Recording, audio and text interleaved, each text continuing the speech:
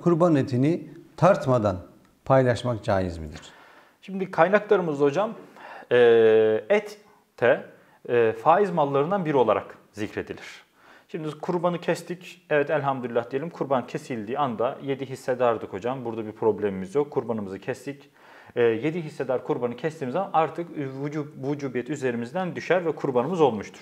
Ama bu saatten sonrasında ise etin paylaşımı ise hocam sair diğer ticari muamelelerde olduğu gibi yani çarşı pazarda ticaret akti yaptığımız gibi bu sefer etin taksimi de bu sefer bir muamelat bahsiyle alakalıdır ve kaynaklarımızda et riba mallarından biridir. Yani faiz mallarından biridir diye geçmektedir. Onun için et e, hayvanı kestikten sonraki bu taksime de dikkat edilmesi gerekir. Yani öyle efendim biz biz yaparız, bizim aramızda samimiyet var, e, onun eti 15 kilo olsun, benimki 10 kilo olsun şeklinde diyebileceğimiz bir durum değil.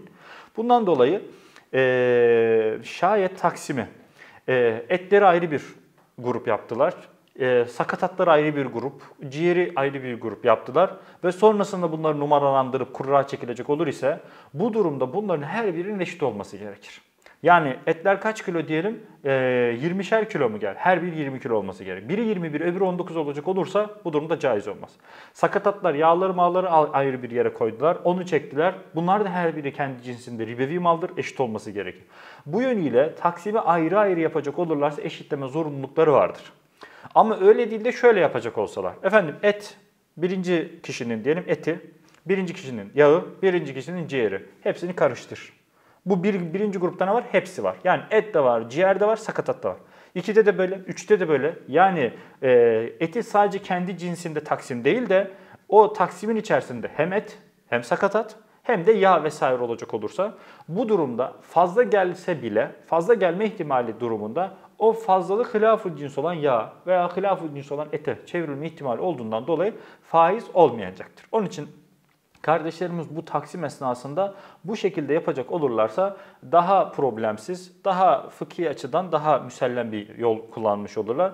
Ne yapsınlar? Taksimde hayvanı yediye bölecekleri zamanda şöyle bir şey yapmaz. Efendim önce etleri bölelim, herkes etini alsın, sonra yağ geçelim, sonra şuna geçelim değil. Et, yağ, sakatat bir Et ya sakatat ikinci kişinin, üçüncü kişinin böyle böyle yapsınlar. Sonrasında kurayı hepsi üzerinden yapsınlar. Bu aradaki farklılık, kemikli olması, etli olması, sakatat olması vesaire vesaire e, fıkıh açısından bir problem olmayacaktır. Onun için taksim içerisinde bu e, ayrıntıya dikkat etsinler. Mahza kendi cinsinde taksim yapmak değil. Çünkü o zaman eşitleme olur ve zordur bu da kurban telaşesi içerisinde. İçerisine hilaful cins olan kemiklisini, e, sakatatını veya ciğeri vesaire koysunlar. Bu durumda fazlalık olsa da faiz olmayacaktır.